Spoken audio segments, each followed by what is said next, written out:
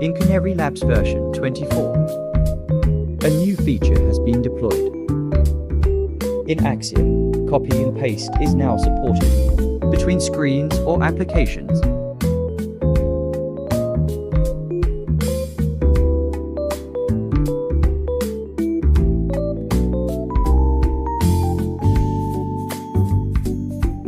Users can now copy and paste all components to other screens.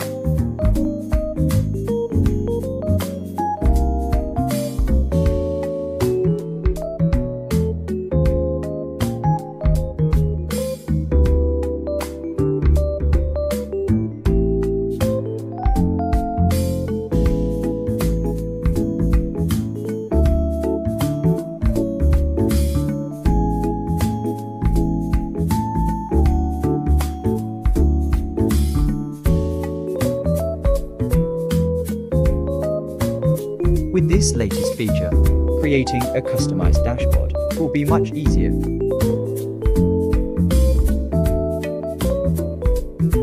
Stay tuned for more updates on Canary Labs' latest updates and features.